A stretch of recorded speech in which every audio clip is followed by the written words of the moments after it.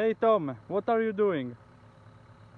Hi Eros, here on in, in my back paddock, uh, pasture paddock, and if you can see behind me over here, there's a valley, and this valley is uh, has an erosion issue. A lot of water comes into this valley from catchment above, and so we're surveying this valley and uh, slope to see if we can do a uh, swale uh, to, and gabions to mitigate this erosion.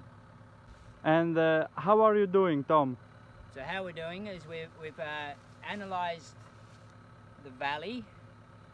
Uh, we've seen the highest point that we can go and then we are behind you Eros there you remember we were there's a fence line and so with that fence line we're trying to use that as an indication point as well and uh, we're very aware there's a very steep slope just behind the surveyor here uh, so so um, we are analysing whether we can um, get the swale across there without too much impact and will it function well. And why are you doing? So why we're doing it is the valley here below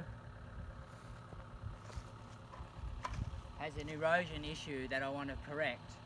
Um, I could just work with that erosion issue, but I want to put a dam in just behind the excavator there. I want to put a small dam there in the future.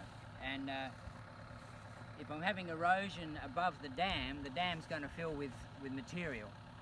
And so I need to mitigate the uh, volume of water coming through the valley.